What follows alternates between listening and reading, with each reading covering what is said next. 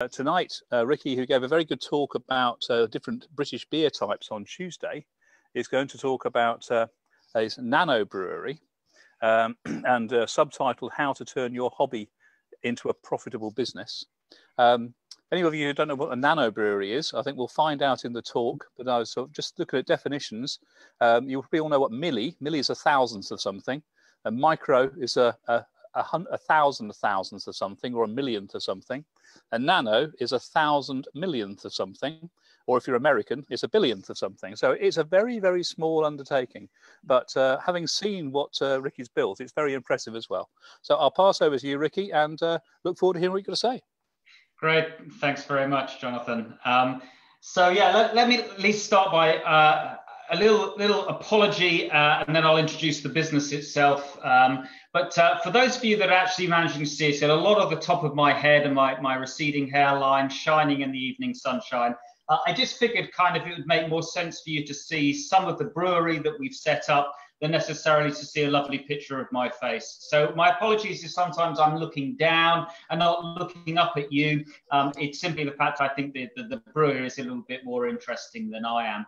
Um, so uh, with that, let me talk a little bit about what it is that I've got here uh, and why and how I got started. Uh, and then I will uh, diversify into talking a little bit more about uh, how we got started, some of the challenges of doing what we've done. Uh, and I will uh, stop periodically as I go through for questions and so on. I know that uh, uh, last time I did this talk to some Cambridge home brewers, there were some people who were thinking of setting up their own brewery. and so I answered a lot of, of, of questions in relation to that. Um, so who are we, um, what are we doing and why are we doing it? Um, so the answer is we are Burwell Brewery. We are, not surprisingly, uh, in Burwell in Cambridgeshire. So uh, on the road between Cambridge uh, heading out to Fordham. Uh, we are about uh, 10 miles from the centre of Cambridge in the village of Burwell. Uh, the brewery itself is actually in my back garden. Um, the reason it's in my back garden is one really of, of logistics, which I'll talk about. Um, and uh, we are a nano brewery. That means to say we're kind of a big, out of control homebrew setup. um, you can see the, the brewing vessels behind me. Um, so uh, breweries are measured in terms of what are known as their brew length. That is to say how much beer they can produce in one run of making beer. Uh, in our case, uh, the biggest vessels that you can see behind me over here, these are 200 litre vessels. Um, so that doesn't mean to say we produce 200 litres of beer every time we brew, um, because you need head space to allow the beer to boil. Um, and so typically we're producing about 120 litres of beer every time we brew. Um, so, you know, at our very maximum, we're, we're kind of almost sort of one American uh, barrel. We're not quite big enough for a, a UK barrel, but we're getting close. Um, and uh, therefore, we don't produce a lot of beer for a day's work. Now, the important thing is, again, why you measure a brewery in terms of its brew length um, is simply because um, it takes the same amount of effort to actually brew 100 litres of beer as it does really to, to produce 100,000 litres of beer. Um, as long as you take out the, the, time it takes to actually heat up the volume of liquid, it's pretty much the same process. Uh, you just use bigger heaters and bigger vessels and more ingredients, and essentially it's the same thing. So it's the same amount of effort, regardless of, of how much you're brewing. Uh, and basically, yeah, we, we have a relatively small amount that we can brew each time. Uh, so for a day's work, we'll produce about uh, 120 litres of beer. Um, on a commercial scale, that is not enough beer to make it commercially viable. Um, so I don't have here a commercially viable brewery. What I do have, though, is a commercial brewery. That is to say, I am registered and licensed to sell what I produce. That's why we are commercial. Um, so what on earth am I doing in commercial? Um, uh, and the answer, it was kind of, I alluded to it earlier, which is uh, I'm a bit of a home brewer that got out of control. um, you know, I, I started off really, I, I was always interested, I don't know quite why, but I was always interested in uh, how beer was brewed. I liked beer. Um, and uh, having got into trouble a lot at school for drinking, um, basically, I, uh, I, the first opportunity I got, which uh, was when I first uh, owned uh, or was renting a house, uh, which coincided with getting married. It wasn't because I was married that I decided to brew beer. Um, I then basically started brewing beer, and I did what everybody did at the time, which is you pop down to Boots. and you buy yourself a, a fermenting bin uh, and you take a one and a half or one kilo uh, syrup kit off of the shelf. Uh, you open it up with a can opener, you pour it into your fermenting bin, you add some water, you sprinkle on the yeast, you wait a week until all the bubbles cease to rise, you siphon it off into some plastic uh, bottles, uh, about as long as you can, which is usually a couple of hours before you try the beer. and then you go, hmm, interesting, that's definitely alcoholic, but I'm not sure I'd call that beer. Um, so my first question when I started homebrewing was, why doesn't this taste like what I you know have in the pub? There's clearly some difference. And there, sort of, now it must be what, 27 years ago, um, I basically started asking the question, why is what I'm brewing not the same as what I can get in a pub? In other words, commercially, what are they doing differently? Um, and so really started a lifetime passion to understand what was required. Um, and so I started doing some research, uh, and uh, as time went by, I, I realized the only way to brew really good quality beer um, was in fact to go back to brewing it from grain and not, not syrups. Um, and so this is the stuff we brew beer from. Uh, this is a pale malt. Uh, this one is a crystal malt. It's slightly darker. And finally, this is an example here um, of a black malt. So um, different malts. Uh, I spoke at length on Tuesday about how and what the different uh, malts are used for. So um, in terms of, of, what the only way really to brew really good quality beer is to use uh, brewing from malt. And effectively brewing beer is like making a good cup of tea. You steep the tea leaves in hot water for a period of time, uh, then you pour out the tea. Uh, you add a bit of milk if you're so inclined, or a bit of lemon uh, to adjust the flavor, maybe some sugar if that's what you want in it, and hey presto, you've got your nice cup of tea. And, and brewing beer is kind of much the same. We take the grain, uh, we steep the grain in water, uh, we then actually add something else, which is called hops. We add yeast. The yeast then basically turns the sugars uh, that were in the liquid that we've extracted from the grain uh, and produce CO2 and alcohol, and that's your beer. That's fundamentally nailed down to the process. Um, and uh, really, I, I, began to brew. Um, and uh, I got very frustrated pretty quick because I didn't have much success until I actually went on a one day course down in London in commercial brewing. It was a kind of, it was an advanced homebrew course uh, run by, I think it was Sunderland University in a pub in London. Um, that totally transformed my brewing. I uh, bought a little bit of equipment and then started brewing at home. Um, rapidly got kicked out of the kitchen by my wife after it all boiled over and, and encrusted on the oven. Um, uh, uh, not to mention the times when it, it, it actually, I got this lovely uh, dark brown precipitate all over the kitchen ceiling, which meant that the actually the kitchen needed redecorating. Uh, so no surprise that I got kicked out of there into the utility room, um, and then from the utility room moved out to the greenhouse. Um, so uh, basically, equipment got bigger and things got a bit more out of control. So why did I turn into home brewing, uh, or from home brewing into commercial? The answer was because I actually got fed up of uh, eventually people saying, Can I buy your beer? Um, and I would say, No, you can't buy my beer, but here's a few bottles. Um, and uh, I, you know, you know, you go to a party, you take along some beer. I went to an event, I would take along some beer. Uh, and more and more people would say to me, okay, how do I get hold of your beer? It's really nice. And I think there were a couple of things that really changed it for me. Um, I took some beer down to a local beer festival in Burwell Uh, and the guy that was running the festival uh, tasted the beer uh, and uh, he said, you know what? That's better than anything that we've actually got currently at the festival. Uh, can you provide us with some? And I said, No, I'm just a home brewer. um, also, uh, somebody that we knew that um, took over the lease in one of the pubs uh, said to us basically, he tasted the beer and said basically uh, he would be prepared to put that beer behind the bar. Could I provide him with some? And again, I had to say no. Um, and he said, well, why don't you turn commercial and, uh, you know, I'll buy a beer. Uh, and that got me thinking. Um, so uh, I then started redoing the research. I thought, well, there's a lot of difference between brewing at home uh, and, uh, you know, obviously commercial breweries.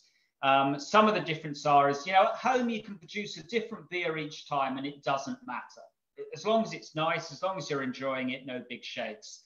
When you're brewing commercially, you've got to be able to brew consistently. Um, people expect that the beer labeled with Judy's Hole tastes like Judy's Hole the next time. they don't expect it to taste like something that's entirely different. Um, and so you need a degree of consistency, not just in, in, in flavor, but in color and in alcohol uh, content and so on. So you've got to brew consistently.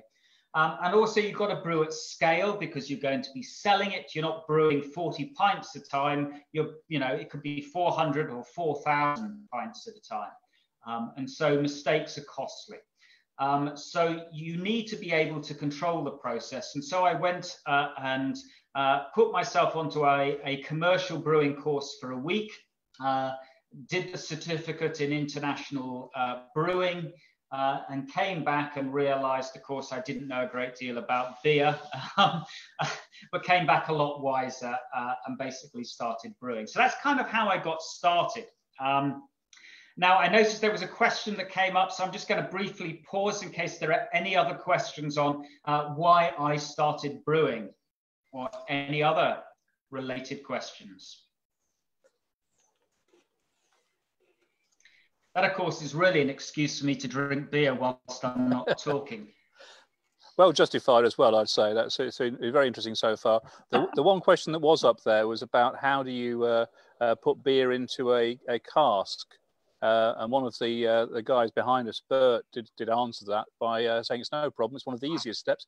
You put beer in the cask, hit the bung with a hammer until it stops leaking. Uh, so, yeah. um, so it depends. I think with, yeah. with home, with well, my very limited home brewing, I never really got as far as a cask, apart from a, a plastic pressure barrel from Boots, as you as you pointed out earlier on. So uh, yeah. uh, uh that was just pouring it in.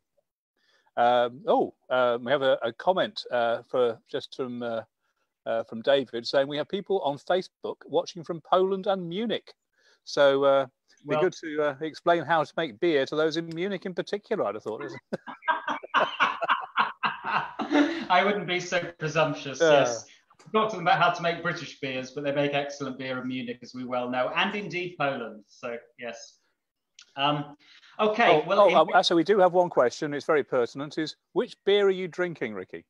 I'm drinking befuddled tonight. I think, as Jonathan said, uh, it's a little bit too warm perhaps for a dark beer. Uh, we do brew seasonal beers, um, so uh, thanks for the plug, by the way. Uh, this this one here is Judy's Hole, which is our dark beer. Uh, and uh, this basically, we originally only ever brewed it in the winter. Um, but people like Jonathan liked it so much, they persuaded us to, to brew it all year round. And actually, it's our biggest seller. So dark beer, um, we actually brew it now through the through the uh, the warmer months uh, at only about four and a half percent rather than six and a half percent ABV. Um, I'm drinking uh, befuddled. Um, so befuddled is a typical English bitter, so it's quaffable pale ale. Um, the other one we've actually got on at the brewery at the moment uh, is uh, is this one. This is Stefan's Müller, which is a, uh, a Bavarian wheat beer. There you go, the guys in Munich. It's a Bavarian wheat beer. Uh, for those of you that aren't familiar with differences in wheat beer, really there are two types, Bavarian wheat beer and Belgian wheat beer. The Belgian wheat beer or wit beer um, it tends to have an addition of uh, things like orange peel and coriander, whereas the uh, Bavarian sticks firmly to the Reinheitsgebot, which is basically uh, you put your malt, your water, your hops, and your yeast, and that better be all you put in your beer. Um, so uh, that's basically it. Um, so we, we brew a wheat beer, which is a Bavarian wheat beer. Um, we've also actually just tonight transferred uh, some uh, IPA, some American IPA, which is very popular from the fermenter into our conditioning tanks. Um, so that's it. But cheers, I'm drinking befuddled at the moment, um, which is uh, very refreshing in the heat. Um, thank you for your question. uh, that, thanks, thanks, Ricky. By the way, your your uh, your internet connection seems a little bit flaky tonight, so I don't know if you're yeah. able to give it a kick. Uh, or I think it's yours, not mine, but uh, you are breaking up a little bit from time to time. Okay. Uh, I don't think there's a great deal I'm going to be uh, able to do about that. I could switch on to another wireless network, but I'm not sure it'd be, a, uh, be any better. I've just got a message saying the audio is fine for attendees. So my apologies yeah. if the video go goes in and out. Uh, but I am in the brewery and we are at the top of the garden. So, uh, yeah. you know, we're a little bit far from the router. Um, I'm not going to bore you with all the IT stuff. So, no, well, I'd agree with that. But the audio is generally fine. The video freezes sometimes. That's all. Okay, great. All right. Um, so uh, basically, uh, why am I brewing at the top of my garden instead of an, on an industrial estate? And the answer was um, because my commercial training taught me that to be commercially viable, you need to have a brewery which is at least 10 barrel brew length. Okay. Um, so a barrel, uh, you know, in terms of a, a, a, uh, a, UK barrel, I think is 266 pints. Um, we brew closer to sort of 200, somewhere between 200 and 250 pints each time. We need to be 10 times the size to be commercially viable. What is commercially viable? Can I draw a salary as well as pay for all of the ingredients, the rent, the depreciation, the rates, and everything else that goes with running a business. Um, at the size that we are, we cannot possibly pay salaries. We just don't produce enough beer ever to uh, basically produce a decent return uh, to pay a salary. So I brew for the love of it. Um, so I have a full-time job elsewhere. Um, and so I, I, I, come up to the brewery at sort of 6.30 in the morning and I tend to work in the brewery sort of 6.30 till 8.30 in the morning. Then I go to my day job, then I come back, then I come up to the brewery again. Uh, and there's uh, two of us, myself and Paul. Uh, we, uh, we do the brewery and we are now at the moment brewing every single weekend and sometimes uh, we are brewing in the week as well.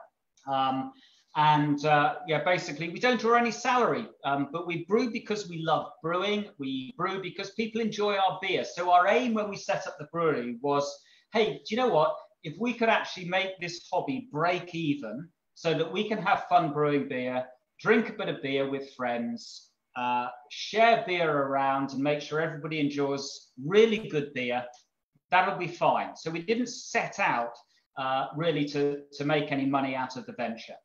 Um, in terms of why I'm brewing in my garden, not an industrial estate, um, that is simply because uh, when I started looking at the cost of renting a unit in industrial estate, uh, or indeed just about anything anywhere else, uh, it basically meant we would be end up brewing just to pay the, the, the rates, uh, which we didn't want to do. Um, so uh, I happen to have a reasonably sized garden, uh, and so I decided I was going to actually uh, build the brewery myself. Uh, and so uh, I built the brewery myself, um, and uh, we actually now brew at the top of my garden, which is wonderful because the reality is there's no other way I could do it running a job that has me working 50 hours a week.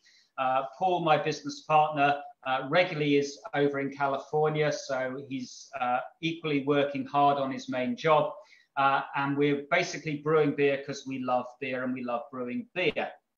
Um, that's fundamentally us. But there are some realities too, which is if you're going to do what we're doing and try and turn your hobby into something which is pretty much neutral or maybe pays a little bit of money, um, then how do you go about doing it? Um, well, the first thing to say is if you have a commercial premises at the bottom of your garden, it is a commercial premises. Uh, you will need planning permission. Don't be put off by the fact that you need planning permission. Getting planning permission uh, was not particularly difficult for the brewery.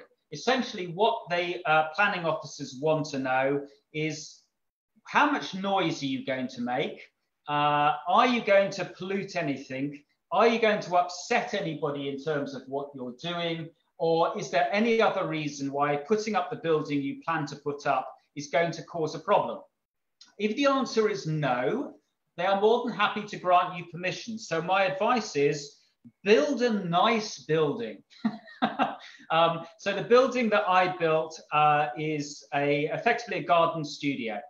Uh, it has, uh, if you look on our Facebook page, uh, Burwell Brewery, search Facebook Burwell Brewery, uh, you will see the building. You will see lots of pictures of Paul and I uh, and friends actually putting up the building. We have concrete floors. it's a timber framed structure that then is clad out in cedar.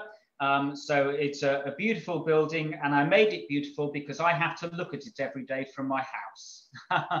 um, so uh, it, it's it's a lovely building, and it's all insulated uh, to to a high standard, simply because then it doesn't cost me anything to heat it, and it really doesn't cost me anything to heat it.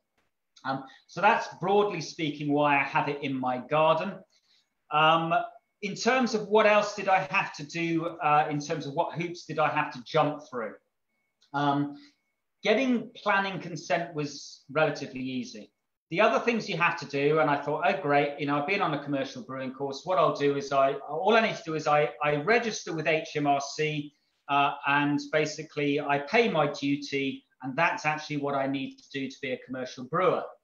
Um, unfortunately, it's not quite that simple um, because uh, yes, I registered with HMRC, uh, and uh, then basically I started selling my beer. Um, no problem, I thought, I'm paying my duty, everybody's happy, I've got a commercial premises. Um, the next thing, of course, is that um, I happen to know some people who were on the uh, Cambridge Beer Festival committee. Uh, and so basically, uh, you know, I, I spoke to them uh, and they said, yeah, we'd, we'd love to have and love to support you. And I got introduced to Jonathan uh, through the Burwell Museum.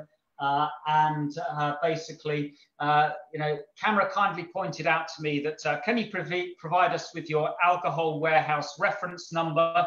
And they don't know this, but I sat there and thought, well, I've got dozens of numbers that were issued by HMRC. I wonder which one of them is, is, is that one. Um, and I looked through all these different numbers that they'd given me. Not one of them was an alcohol warehouse reference number. So I thought, well, it's no problem. We've got about six weeks until the till, till the Winter Beer Festival. Um, I'll just apply. So I went online and I applied, and uh, and duly HMRC say, okay, fine, we need to come and visit you.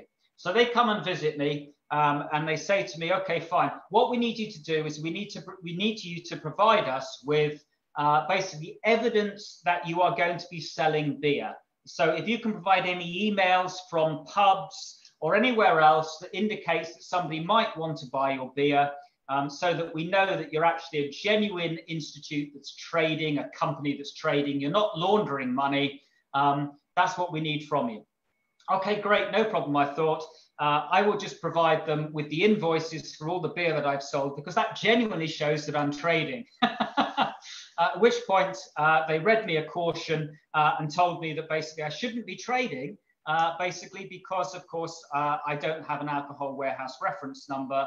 Um, at which point I said, oh, that's odd because I went on a commercial brewing course and they didn't mention it. Uh, and they said, when did you do your you know, course? And I said, oh, about 12 months ago. And they said, well, the reason why they didn't mention it is because you didn't need one of those 12 months ago. So I said, oh, that's interesting. So why, when I registered with HMRC, did you not tell me I needed one of these? And they said, oh, well, that's a different department. um, uh, so I said, well, how would one know that you needed to do this? And they said, yeah, that's the difficulty. Um, we weren't quite sure how to tell anybody, um, so we didn't. Um, so, uh, you know, in fairness to the guys, they were really nice, uh, and they basically said, look, um, we're taking a very lenient attitude with things right now. Um, so uh, basically, just provide us with your information and don't worry about it. We'll get this pushed through, um, which they did. Um, so there were no issues. Um, so um, basically, uh, I can see there's just a question that's come through. Uh, basically, uh, is there a specific amount of beer you're allowed to brew, uh, or you must brew, I think, perhaps as a commercial brewery? No. Um, as a there are, there are different. There's a small brewer um, you are a small brewer and entitled for small brewery relief on the duty you pay. I think it's 5,000 hectolitres a year. It certainly was an amount that I never worried about. So I pay, I think, £9.54 duty per, it's a bit more complicated than just hectolitre because it depends, that's per percentage alcohol point. Um, so you pay a, a, lower rate if you're a small brewer. If you're a, a brewer brewing more than 5,000 hectolitres, you pay a, about double that. Um, but other than that, you can produce any amount you like. You just have to pay duty on every bit of beer you produce. Note, not what you sell, what you produce. Um, so you have beer that's in suspension, i.e., I haven't yet paid duty on it um, because I haven't sold it. But once I've sold it, it comes out of suspension, duty suspension, and I have to go ahead and pay duty on that. Um, and we submit, we submit a return to uh, HMRC at the end of every month, which tells them how much beer I've sold, what the alcohol content was of each beer, uh, and I duly then, by a direct debit, so I don't forget, I pay my uh, uh duty. Um, so that's that one. Um, that wasn't the only thing from a, uh, uh, you know, the, the, the um, legal side of things. Of course, we're a food production unit. So as a food production unit, you have to be inspected by local government. So they will come in, they will inspect your premises for a food hygiene inspection. What do they want to know? They want to know that you are producing a product safely, hygienically. Um, so you have to produce something called a HACCP plan, a hazard analysis and a critical control point plan.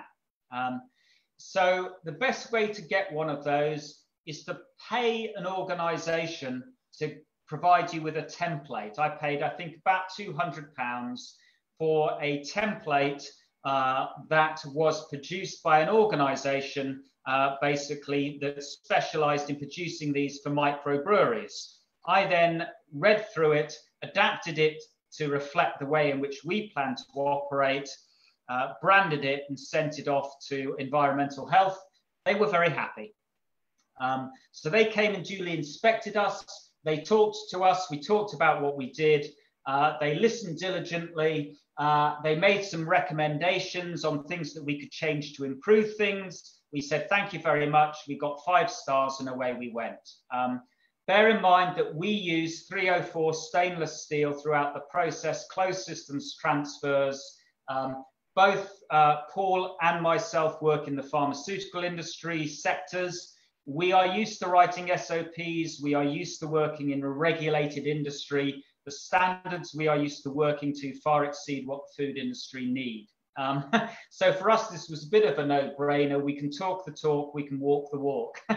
um, but we do, uh, you know, uh, we are meticulous about cleaning and we are meticulous about sterilization and, and what we do. We have spent a, you know, a good proportion of our startup capital has gone on really top quality stainless steel and, and food grade pumps and so on. Um, it is important you get a problem with your beer and start making people ill, you are out of business. Okay, so it's as simple as that. Um, so we had no problems with, uh, with uh, the health and safety from a food standards perspective. Uh, great, I then started, no problem, I can sell my beer, I can produce beer, I can sell it, um, you know, at a CAMRA festival, fantastic. I provide CAMRA with my alcohol warehouse reference number, um, and we're all good and we have great success at, at the Winter Beer Festivals, at the, uh, the Cambridge Winter Beer, Beer, Festival at the end of last year, followed by the Ely Winter Beer Festival. Everybody loves the beer. Paul and I turn up to the, uh, the beer festival the day after it starts to find our beers sold out. Big disappointment, we can't drink our own beer at the festival, but never mind. um, so no problems, everything is going well. We're mainly concentrating at this point on selling our beer uh, to festivals and to uh, organisations in the village who otherwise wouldn't put on real ale. Hence, Burwell Museum, the Burwell Sports Club, Burwell Cricket Club. We're supporting one or two people who are doing parties and things like that and raising money in the village. And, you know, frankly, yeah, it was great because Paul and I just brewed once a month. um, and, everything's going fine. This is my hobby, and I'm, I'm selling a bit of beer on the side. Um, uh, then basically, uh, I get invited. Would you like to go and do the farmers market? Yeah, I would like to do the farmers market. I guess we ought to put it in bottles. um, so we go and put it in bottles, and we do. We did beer boxes, which are like wine boxes, but we were doing those. And so let's let's put it in some bottles. So I order bottles, and I realised the only way to buy bottles is to actually buy them in bulk. Otherwise, you pay a ridiculous price. Um, so I basically look up all my contacts from my commercial brewing course. Um, I get my contact and I ring them up and I order some bottles. And the smallest quantity they do in is a pallet of bottles. This being nearly 1,300 bottles. They duly turn up because I can't order any smaller. Uh, and they, they arrive on the doorstep, and Paul and I take a photograph and post it up on Facebook saying, This is a laugh, I've got 1,300 bottles, that'll last me forever. Um, and we bottle up, uh, you know, six crates uh, of beer. So, um, you know, we bottled up uh, some beer and we take it across to the uh, to the farmers market. And it happens to be December. Naively, I have no idea what this means for beer sales. so we go in there with about, we'll say six, six uh, boxes of, uh, of 12 bottles. We sell out of beer in about the first hour and a half. So meanwhile, we scrabble around trying to bottle beer and get it back to the, uh, the farmer's market in time before the farmer's market ends. Um, and realize this bottling beer and selling it to, to the public is absolutely great. There's only one small problem, uh, is that we actually discover uh, that we uh, can't sell beer to the public without two small things. Um, one is that actually, of course, you need to have a premises license. Um, without a premises license, the fact that we're not actually selling beer from our premises, we're selling it from another premises that has a premises license. That's not the point. They've got a premises license, but we don't. We're trading the beer from our premises. We don't have a premises license. We need a premises license. To get a premises license, you need somebody who actually has an alcohol license. Um, so basically, when you look in a pub, you will always see above the bar or somewhere in the pub, there will be a little sign which tells you who actually holds the alcohol license for that premises. It's the premises license holder. Um, they are the people who understand uh, the legal implications, the law surrounding alcohol sales, and are ultimately responsible for the alcohol that's sold.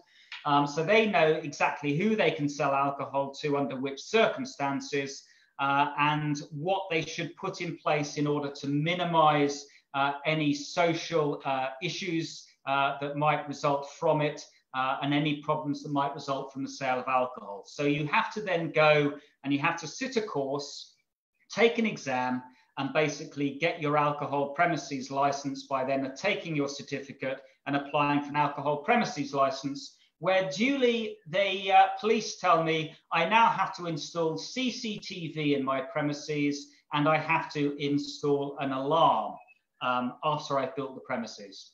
Um, So yeah, I have to, I now have CCTV and an alarm system on my building because it's the only way I can comply with my premises license. Note, I do not, I know, I don't, I have, whilst I have a bar on the premises, I have deliberately chosen not to actually sell alcohol on the premises. My license, I deliberately chose to sell alcohol for consumption off of the premises. And that is because I am in a residential area. I don't think it is fair on my neighbors. Uh, I think they would worry uh, if we actually had a license that enabled us effectively to run a pub from my back garden. So, out of consideration for them, not because it was going to be a problem for the council, um, but out of consideration for them, I don't. Uh, so, if you actually ever visit the brewery, um, then basically it's by appointment only. And I'm afraid, guys, you have to sit in the bar and drink for free because I can't sell it to you on the premises. I thought that was a win-win, frankly. Um, of course, if you choose to buy some beer and then take it off the premises, that's good for me. um, but most people have no complaints about that, but that was my personal decision. I will say the council were incredibly helpful and have been every step of the way. Um, from uh, you know everything from my premises application to my premises license, I have found the council incredibly helpful and supportive, supportive over what I'm doing. So anything you hear about the fact that, oh, it's so difficult to do isn't actually true. Yes, there's paperwork. Yes, there's effort involved. Stick with it, plod through it. The council, I found, the East, East Cambs District Council up at Ely, I could not praise them enough. They were incredibly helpful. And that is a good point. If there's some Q&A, uh, what have we got, Jonathan? Um, at the moment, there's been one or two things that come through. I've tried to answer one. Somebody uh, did ask, what is an SOP? Um, yeah. And in my world, it's a standard operating procedure. So I'm assuming it's the same in yours. It is um, exactly the same in mine, yes. So uh, we've answered that one. Um, uh, somebody else, this is one which is quite good, is how can you buy beer from Brew, uh, Burwell? Um, we've pointed people yeah. at your web, uh, your Facebook page. Is that right? That is absolutely right. We are in the process of setting up a website with online sales as well. Um, but uh, yeah, for now, go to the Facebook page uh, and uh, basically from there, uh, you can then just message me and Paul and I will answer any questions you've got and arrange to have your beer. Um, so Jonathan uh, orders beer from us. Uh, it's becoming regularly, I think it's fair to say. Um, so uh, we have a number of people in Cambridge, but we also have, you know, most of our customer of course comes from Burwell and surrounding villages. But uh, absolutely, talk to us. You can buy our beer. Great stuff. And then we've, we've got a couple of questions from uh, Colin Dewar, which are not directly related to how you run your the brewery, but actually about yeah. recipes. Sure. So uh, maybe you can pick those up. The first one is, do you use mains or RO water to start with? Yeah, okay. We use mains water. So what you do, um, and actually most commercial breweries are doing exactly the same. Uh, the original, the original sort of uh, essence of why water was so important was because uh, all you could do was draw the water up from where you locally were and use that water. Of course, now uh, you know a brewery can strip its water back of all chemicals into a dis- into distilled water they can add whatever salts, minerals, chemicals, balance the pH to whatever they want to the water and then use it. Um, so the reason why you know you can buy Tiger brew, Tiger beer brewed in Bedford is because actually they can analyze the water from the original breweries. Uh, they can then basically reproduce the water. So you don't have to have water from Burton on Trent to brew an IPA. Um, so what we did uh, is we sent our water off for analysis. Um, and when that came back, uh, what we got, this was Murphy and Sons, they do water analysis. Uh, we got that back and they gave us a specifications sheet. And they also kindly told us if you add, uh, for the type of beers you want to brew, you add this and you add that, which you can purchase from us. um, and, uh, and that's what you need to do to balance your water. And that's exactly what we do. Um, so we use that specification sheet uh, and basically we then uh, take the, the water. What I do do is I run it off into uh, the uh, into our hot liquor tank. Uh, I'll just wander over here, by the way. This is the hot liquor tank. 200 litre hot liquor tank, okay, is over here. This is a mash tun. That basically is where you steep the grain in the hot water. This is a kettle. The difference between this and this is the name. That's all. uh, this heats up hot water. This one heats up what is known as wort, which is the beer that comes out of the mash tun.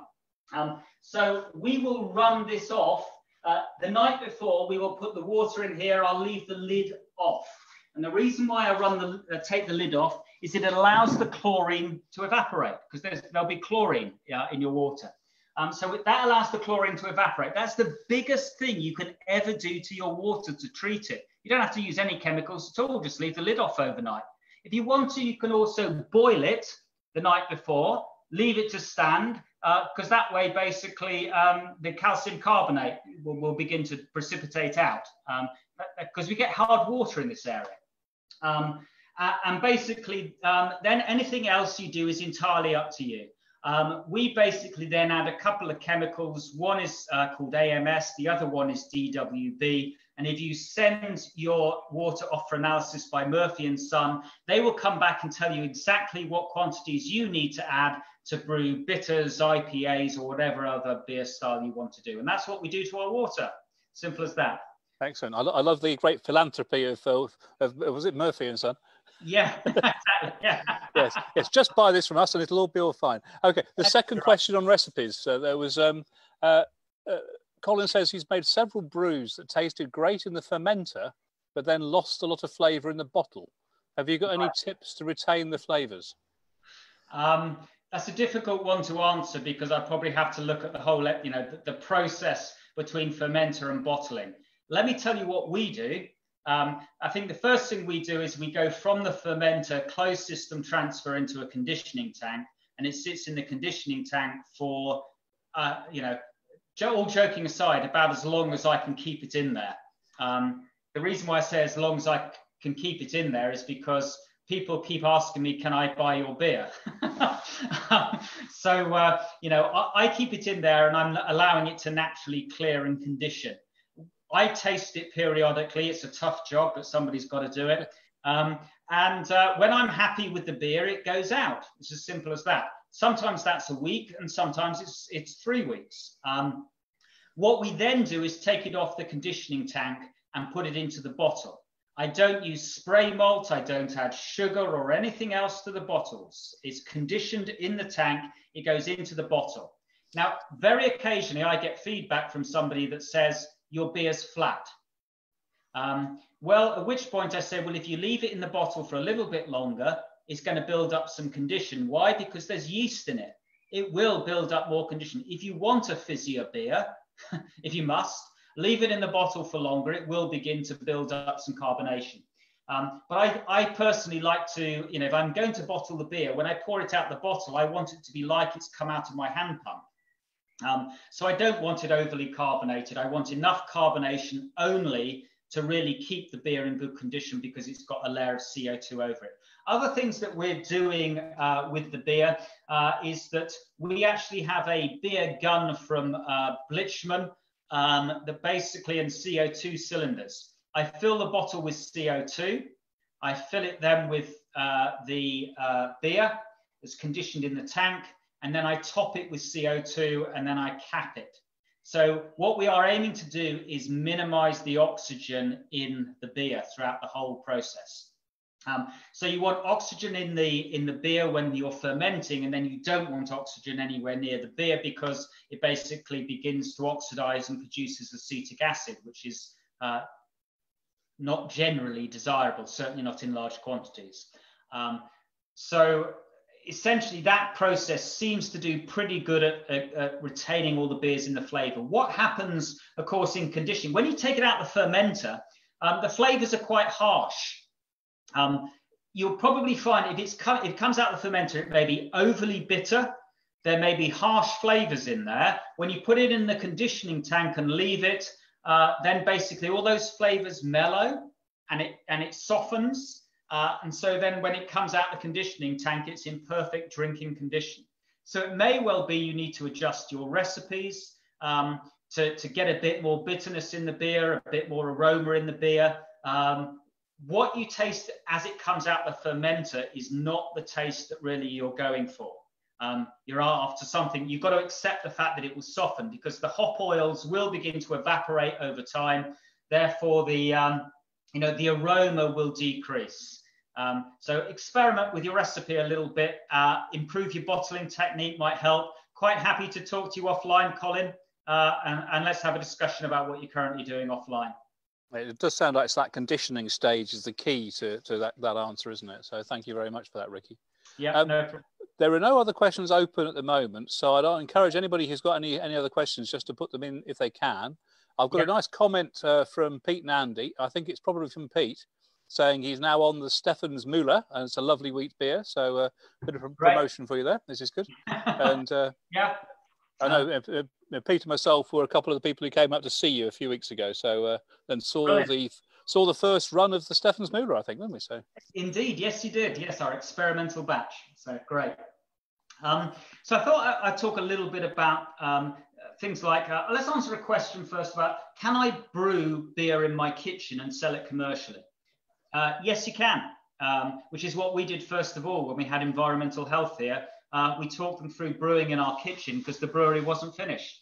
Um, and uh, again, I would encourage you to ring up the lady from environmental health. She's wonderful. I talked her through what I was trying to achieve. Uh, and she talked me through what I needed to do. And I asked the questions like, can I do this? Can I do that? Is it all right if I do this? You know, again, th- th- this myth, I think, that environmental health are these nasty people trying to stop people trading is just not true. Mm. Um, you know, what they want to see is that you're trading as safely as possible. Um, that's their concern. And so, as long as you're willing to work with them, they will work with you. Um, so yeah, you can brew in your kitchen commercially if you really want to do so, and you can brew 40 pints of beer and have a commercial license. No problem at all. The you know commercially nobody cares how much you brew. That's entirely up to you. You don't have to be a profitable business. okay. Um, so let's talk a little bit perhaps about equipment that I've got here. Somebody says, you know, I really fancy setting up a, a something like yours. Um, what's it going to cost me? What do I need? If you are going to brew beer like a commercial brewery does, and there is no other way uh, to actually get that sort of quality and control into your beer, you will need what I've got behind me here.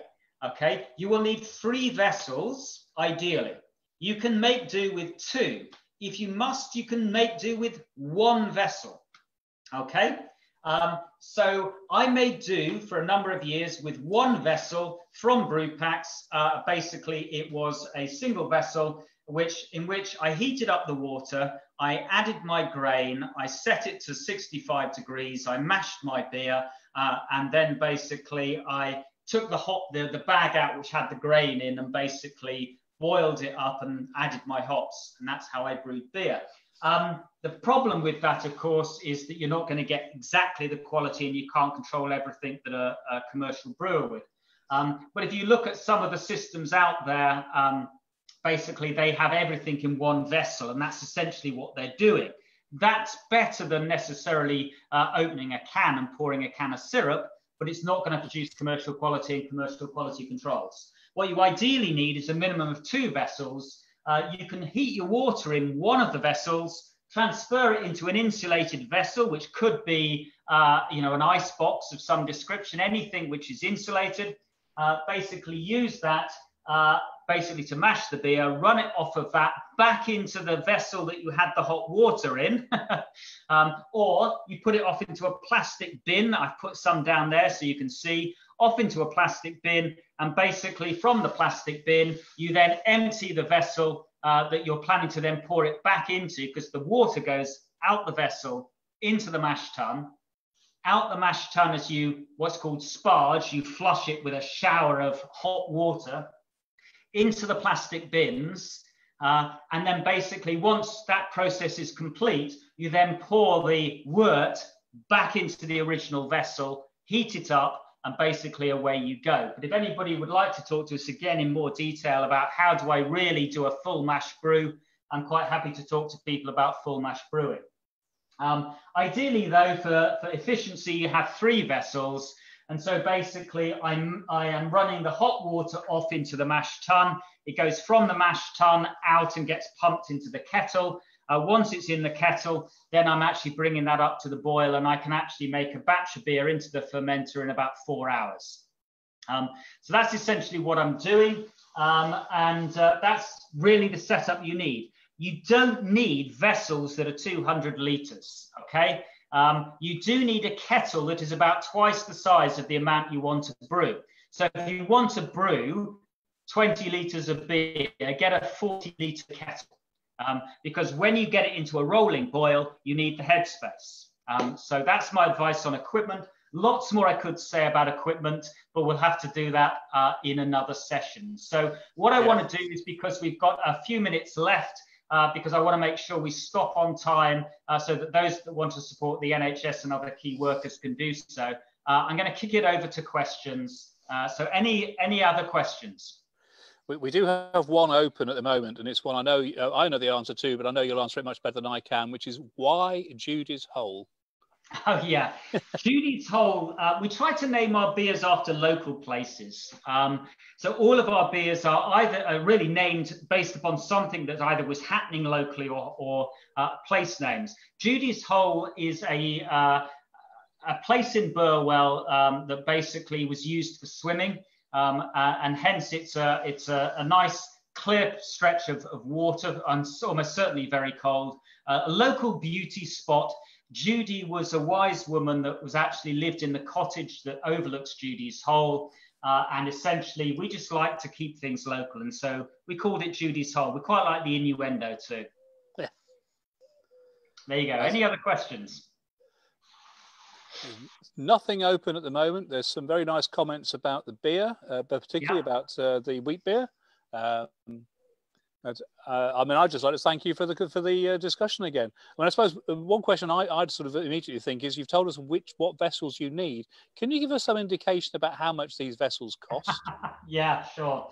Um, depends where you buy them from. Is this is the answer? Um, so the uh, big vessels that we've got, the 200 litre ones, you're looking, uh, the vessels themselves are only about 250 quid, but then you've got to put heating elements and temperature controls in them. You're looking about 550 pounds for 200 litre vessels. Kitted out as we have, we happen to have uh, 11 kilowatts of, of heaters in them. We have two five and a half kilowatt heaters. You can't run a five and a half kilowatt heater off of your domestic supply. You have to have dedicated circuits. Um, but you could have a three kilowatt heater. Um, so buy three kilowatt heaters. The mash tun happens to be from SS Brewtech. That's about 500 quid all kitted out. The fermentation tank we've got is from SS Brewtech. That's about 1200 quid. Uh, and then you get into conditioning tanks, which all kitted out at about a thousand quid a piece, and a glycol chiller, which is about 1200 quid. Um, it isn't cheap if you're going to kit yourself out with decent kit, but you can do it cheaper. Oh, thank you very much, Ricky. Uh, that's that's really helpful. Um, th- there aren't any other questions open, and I think we've only got about two or three minutes left before yeah. the uh, the NHS clap. So um, I'd just like to thank you again for a very fascinating talk, and uh, and the continuing supply of Judy's Hole is most uh, most appreciated. Um, but as I say, the lighter rails are also good there. So maybe some befuddled is the next next order. Great. Um, I'm just checking to see uh, what's going on here. Um, uh, oh yes, just some announcements. Um, well, first of all, obviously, thank you. Uh, um, anybody who's planning to join the three blind mice uh, discussion later on, it's just been cancelled. I have no other information, but uh, don't bother trying to dial into that. It's not going to happen. Okay. Um, but uh, well, thank you for everybody joining the uh, the virtual beer festival. It's such a shame. You know, the weather arrived, but uh, unfortunately we can't do it. But uh, looking forward to the winter festival, and uh, we'll see you all there. Thanks again, Ricky. No problem. Thank you very much, and happy to talk uh, through Facebook or directly later on. So thank you very much. Cheerio. Bye.